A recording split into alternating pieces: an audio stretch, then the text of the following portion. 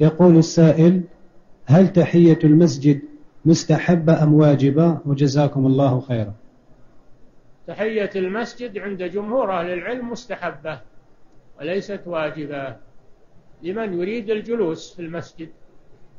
إذا دخل المسجد يريد الجلوس فإنه لا يجلس حتى يصلي ركعتين. هذا مستحب. ولو جلس ولم يصلي جاز هذا لأنه ترك سنة ولم يترك واجبا. نعم.